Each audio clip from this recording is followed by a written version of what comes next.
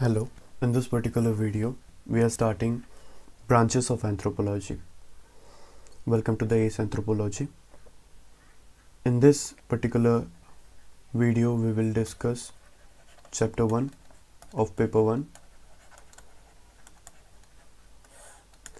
The topics that we are going to discuss are very important because every year or alternative year we find question on this particular section that is branches of anthropology in this particular video we will discuss about the branches of anthropology the scope of anthropology and its particular branches.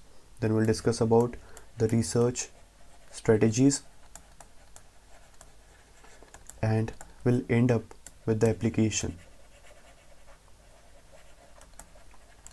So without wasting much time we'll start with the first we'll first name the four branches and then we'll start with each one of them first is biological or physical anthropology. Second is linguistic anthropology. Third branch is archaeological anthropology. And the fourth branch is socio-cultural anthropology and now we will discuss about each one of them in brief. In this particular video we will be doing socio-cultural anthropology linguistic and archaeology. For uh, biological anthropology uh, we'll conduct a separate lecture. So now we are starting with the socio-cultural anthropology. This branch is very important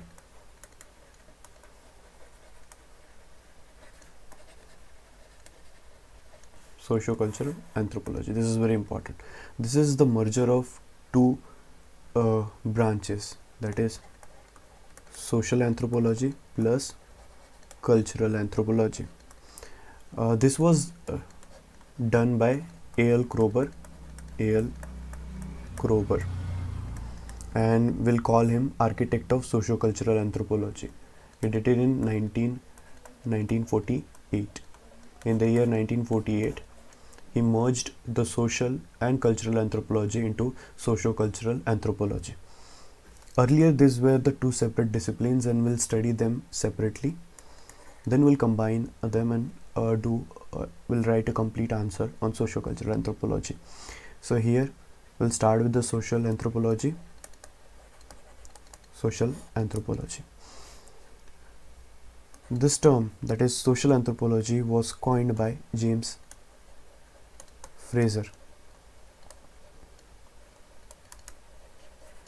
The term social anthropology was coined by James Frazer.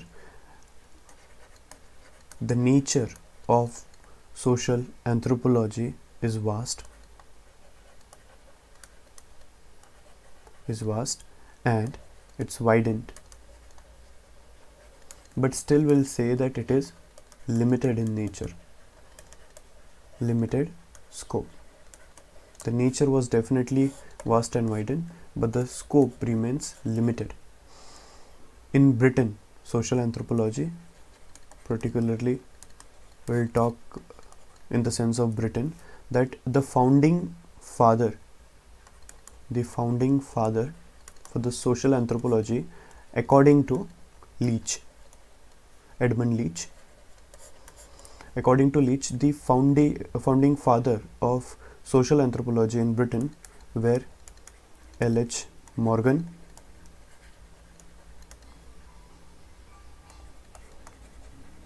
Max Weber, and Emile Durkheim, L.H. Morgan in USA, Max Weber in Germany, and Emile Durkheim from France. So these were the three founding fathers of social anthropology in USA, Germany, and France, respectively. The main focus, the main focus of social anthropology was study society, was studying society.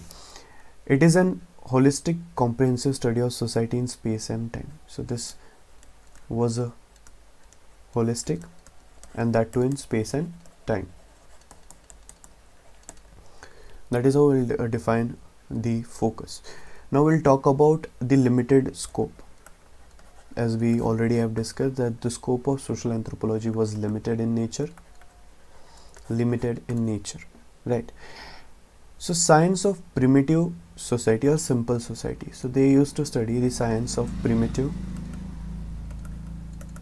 or simple societies. Frazer who terms the coin social anthropology scope of anthropology covers he says that the scope of social anthropology covers belief rituals way of life thought pattern thought patterns of primitive people or simple people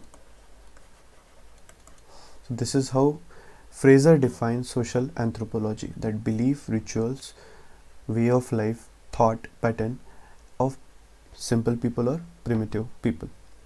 Then there comes Malinowski. Malinowski is a character that we will be seeing him in functionalism. He'll be very important when we'll be doing the theories. Malinowski restricts he restricts the study of the primitive society so he restricts the scope to primitive primitive society he says that social anthropology is a branch of anthropology which restricts its scope or the study to limited simple society or primitive society then radcliffe brown rc brown Radcliffe Brown says that it is comparative sociology. Comparative sociology. This was obvious as they are studying uh, the main focus or the central theme is here society and hence R.C. Brown called it, uh, it as comparative sociology. Then comes Evan Pritchard. Evan Pritchard even Pritchard says that it is the study of primitive society. Study of primitive society. One thing which is important here and which as an aspirant or a student of anthropology is concerned, in our answer we do not mention primitive society if we are not writing the name Evan Pritchard so if we are writing our answer and we are not mentioning the name of Evan Pritchard, we'll call it as simple society.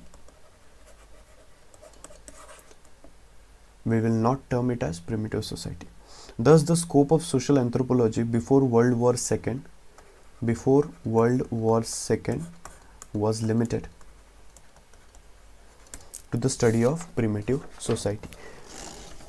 Now we will move to the widened scope that how after World War the scope was widened. It began as a science of primitive society, otherwise known as tribal, non-industrialized, simple, lowly and low literate or non-literate societies.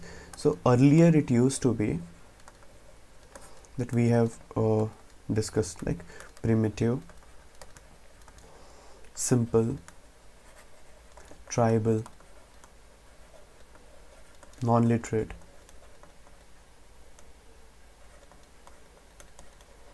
etc.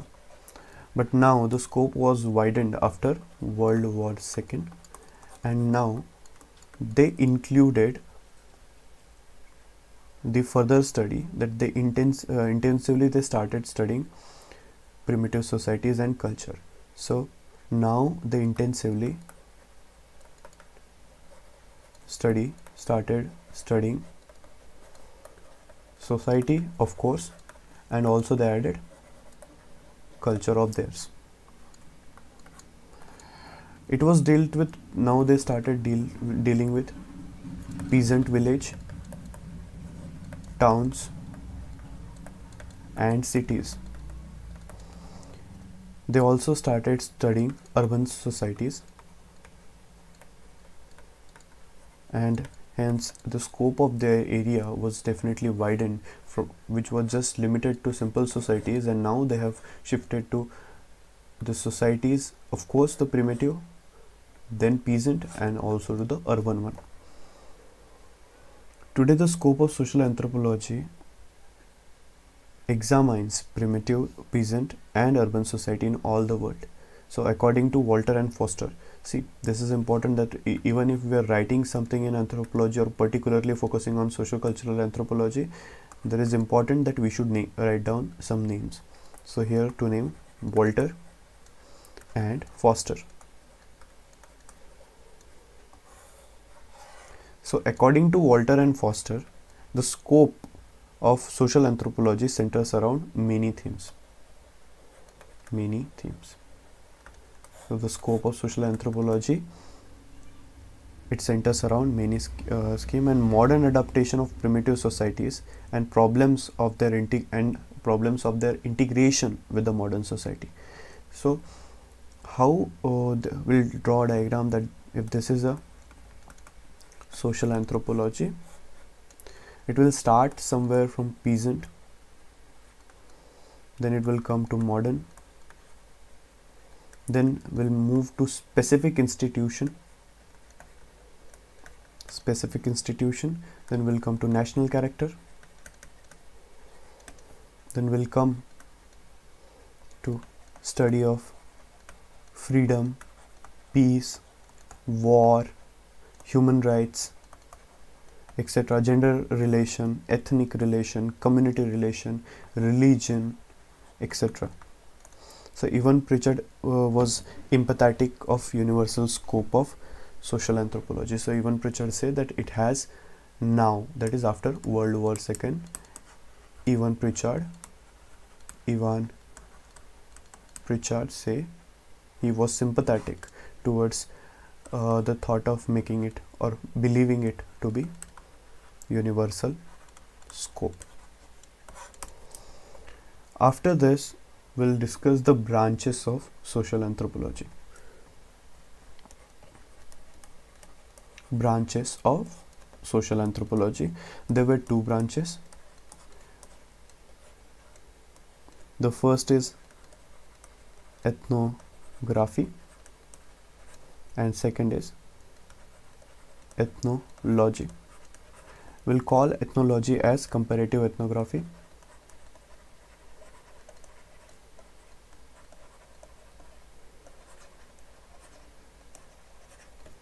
comparative ethnography. Ethnography is descriptive account of particular society. So ethnography is descriptive account of particular society.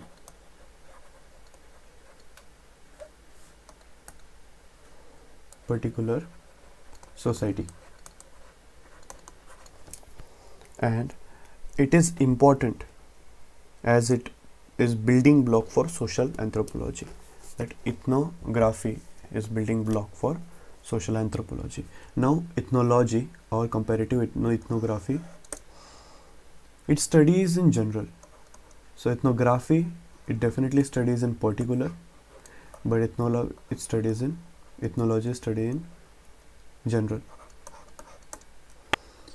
the comparative ethnography is further divided. The comparative ethnography is further divided into topical specialization and area specialization.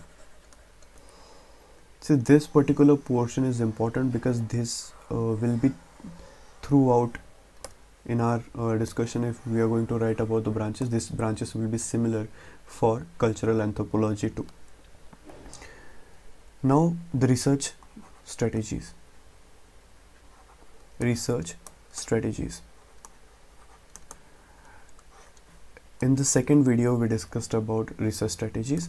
These are nothing but field work approach. Second is holistic approach. Third is comparative. Fourth is emimetic fifth is case study. And sixth is system and process. As far as the branches and research strategies are concerned these will be similar for cultural anthropology too so now we'll start with the cultural anthropology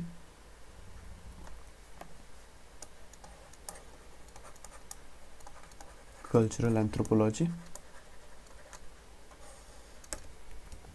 The scope of cultural anthropology is universal and it the scope of cultural and anthropology is universal. This is important. The scope of social anthropology was limited, but here the scope of cultural anthropology is universe, universal because it is comparative. First why it is universal? Because it is comparative right? It is holistic. It is comprehensive. Comprehensive study of culture in time and space. In time and space culture is fact par excellence that is what eb uh, tylor said edwin berlin tylor he said that culture is fact par excellence. This is the definition of E.B. Tylor. Culture is only found in human. That is very important. That culture is only found in human. then we'll talk about its scope we are already we have talked about how it is universal in nature but we'll also uh, discuss about its scope and it become began as a science of primitive societies and studying their culture that was the first quarter of 20th century culture is the totality of capabilities and habits that are acquired by man as member of society. So there is a definition of culture that we will learn in chapter 2 and that definition will be something that as an aspirant you will recall and remember every time and write down the definition whenever the word culture appears. So here that is we'll just uh, write down few of the words that culture is something which is the totality of totality of all habits and capabilities capabilities and habits which are acquired. Acquired word is important here which are acquired by human being as a member of society member of society now Franz Boas here Franz Boas Franz Boas. He studied Eskimos. Study Eskimo of basically they're from Alaska. Franz Boas studied Eskimos of Alaska and his student studies studied in Africa, Europe, Australia, Polynesia, Malaysia, etc. and hence the scope of cultural anthropology which was limited to the primitive culture and society was widened and now after World War II or second quarter of 20th century the scope was widened it was same as social anthropology but added culture with society so uh, the cultural anthropology was similar to the social anthropology but the only difference there was the addition of culture. That's the study of culture was added here. Now uh, the way we have discussed about the branches and research strategies. Research strategies. These are similar the way it was the two branches ethnology ethnography. Ethnology further divided into two topical and area specific. There are six research. One two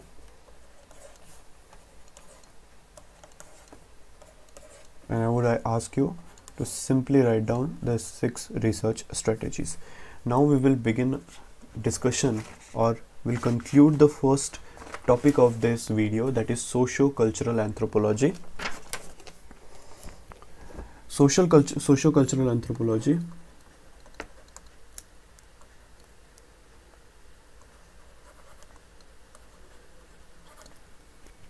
Socio-cultural anthropology.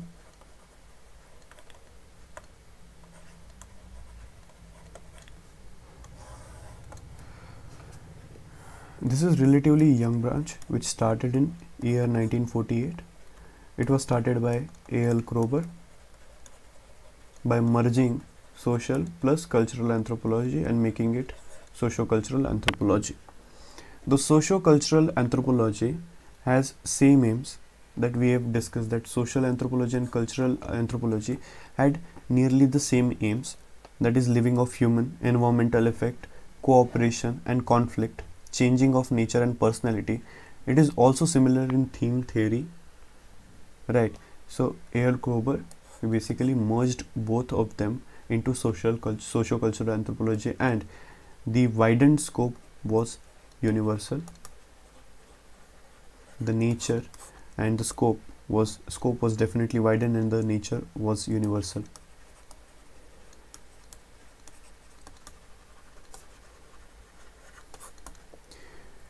The sociocultural anthropology is a branch of anthropology which studies is a branch of anthropology which studies pattern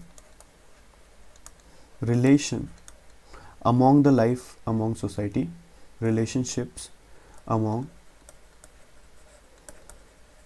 the lives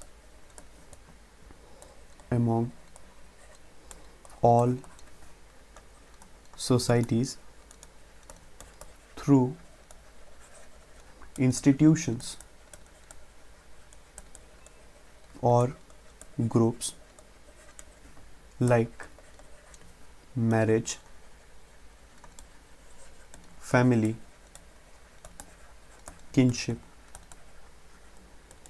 economic activity, political life, belief, practices, folklore. We'll write down the definition of folklore when uh, we'll begin paper 2 or even in paper 1 we'll do. Then mythology and symbols. So this definition is important and this is the definition that we are going to write. If question comes on social culture socio-cultural anthropology or if there is a question on uh, explain or give the branches of anthropology so this definition was provided by Gopal Sarana so we'll remember this definition which was given by Gopal Sarana. The following savants or following scholars also emphasized on the universal scope. So we already have discussed that the scope is universal. So there were few scholars which also pushed this fact. They were Michael Ho Howard, Michael Howard, Conrad Philip Kottak,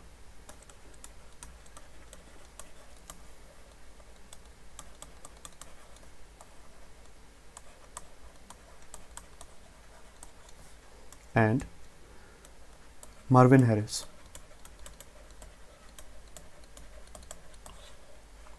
Try to remember what this, where we have uh, heard this name or where we have written this name.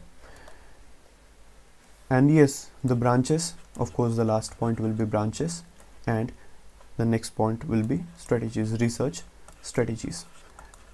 Branches, ethnography, ethnology, ethnology is further divided into topical and area specific and there are six branches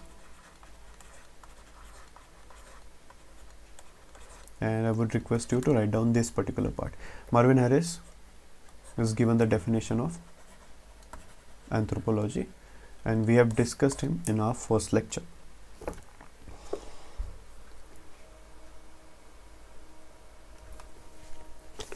Now we will begin the discussion on archaeological anthropology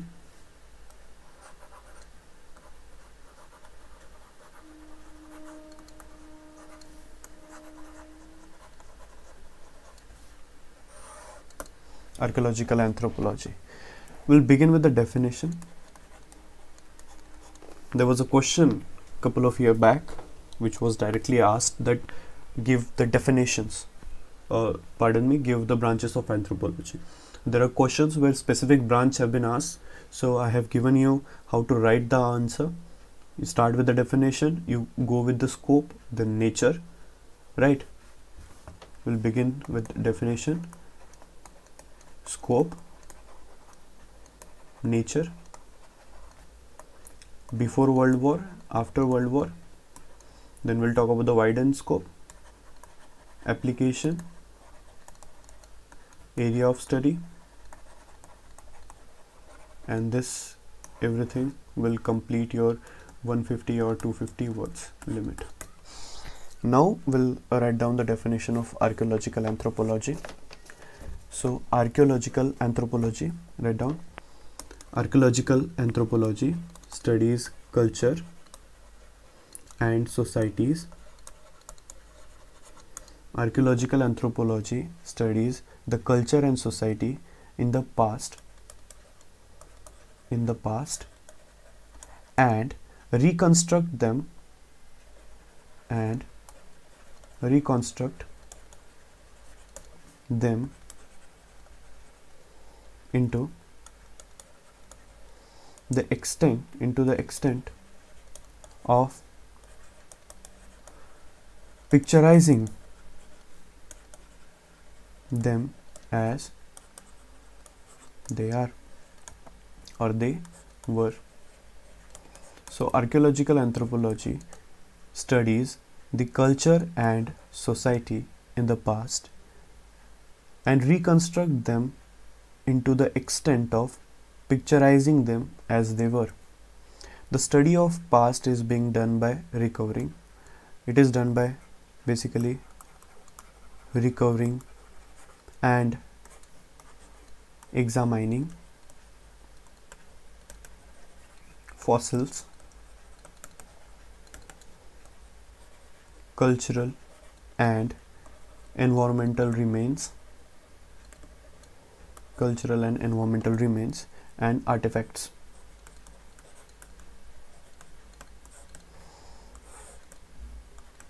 So uh, recovering and examining fossils, cultural and environmental remains and artifacts.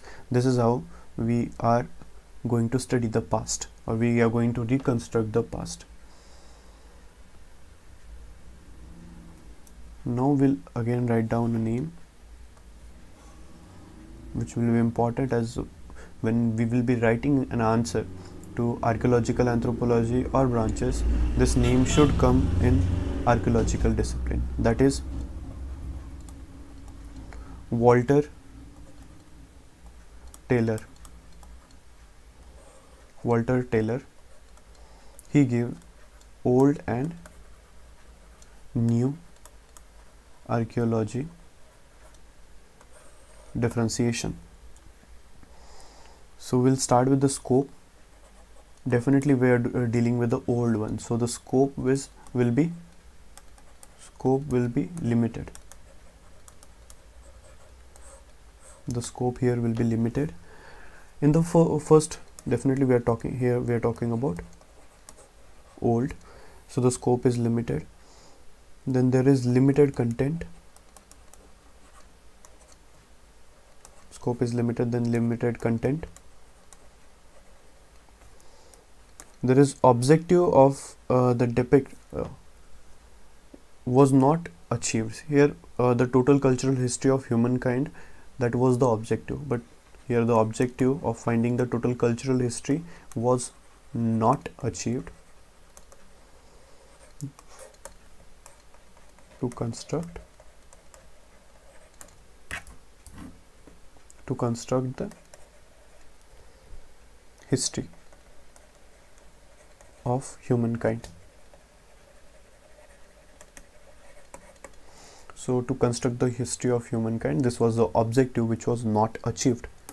Then comes the fourth that is there are three branches.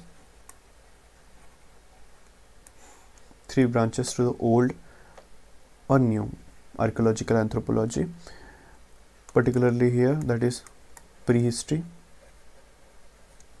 classical history and applied. The limitation was that the applied branch of old archaeological anthropology was not studied and that was this applied was also not achieved prehistory was again divided into paleo meso paleolithic culture mesolithic culture and neolithic culture. The research methodologies here now we'll talk about the research methodologies which were used in the old archaeological anthropology. So research methods or research methodology. So first is they lacked sophistication.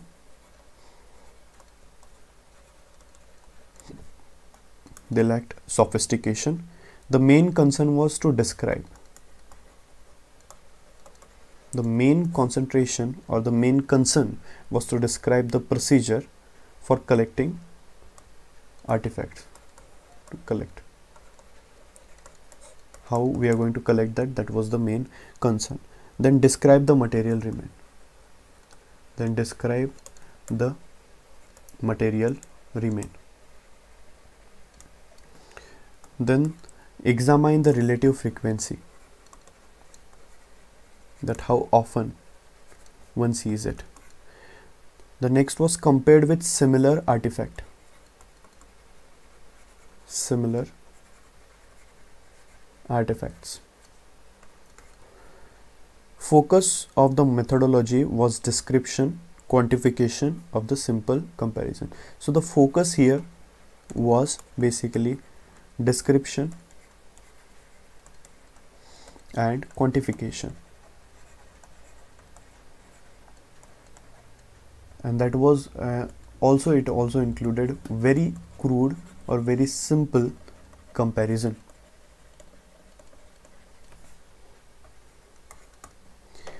they never tried to never tried to explain the fact. So this will come under criticism right? This will also be a criticism. This will also be a criticism. And there were no analysis.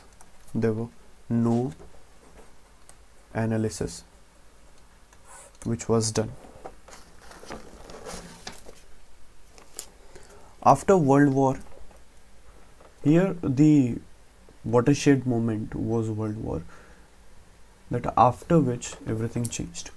So here after world war second the new archaeological anthropology came into picture. New archaeological anthropology came into picture. The main goal or the objective was the old archaeological anthropology eh, which was which had failed in achieving that. And hence there was a need of the new archaeological anthropology. The content acquired that we'll talk about now similar the branches that we'll write down. Prehistory classical history and applied. So in the old anthropology applied anthropology was not achieved. Here the applied anthropology was achieved. Here there was a study of marine salvage garbage and industry. So during one of a study there was found that the people or the men in that village were not drinking. But when the garbage of that area was uh, being scanned or checked by the people they found a lot of bottles of wine uh, liquor. So that is how there there are probability that people may lie about a fact but the garbage will not. So that will come under applied anthropology or applied archaeological anthropology the prehistory definitely. The prehistoric will be text free will not have any text. For classical we have the documents available so we'll call it as text aided and applied is definitely what is applied. Now we will talk about the research methods research methodologies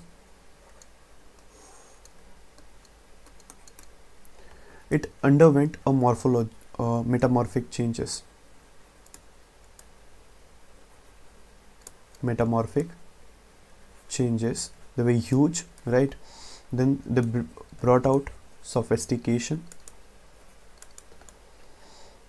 Third that the emphasis uh, the more emphasis was given on cultural evolution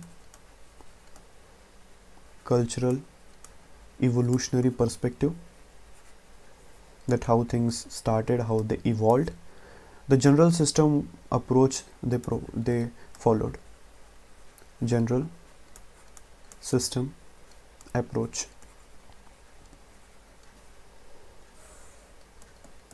We'll discuss about it in the later part. The dependence on logico deducing reasoning increases now they started analyzing the facts right? And hence logico deducing. Approach started. And evolutionary perspective that was uh, brought down the great role of technology and economy. That is how we found out about the technologies and economy. The new archaeological anthropology is primarily concerned with the cultural process and pattern cultural processes and patterns. The new archaeological anthropology was concerned about the cultural processes and pattern. There are there will be similar that the scope we'll talk about the scope. Now the scope becomes universal right? The nature and the scope widened and universal. We'll also write down the branches that we had written in the earlier and we'll conclude this archaeological anthropology.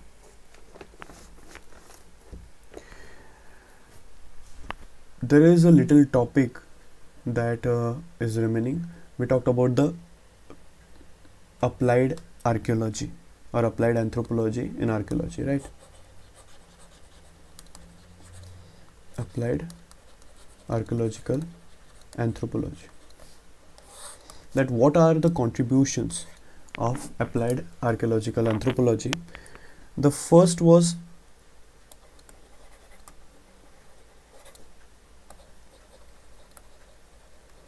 preservation and management of cultural resource preservation and to preserve and to manage the cultural resource was first contribution of applied anthropology second was excavation and reconstructed the urban center of it excavated and reconstructed the urban center of Mesopotamia Egypt Greece, India, etc. It started helping government in locating and excavating war site. It was useful for locating and excavating war sites. The industrial sites, excavation and museum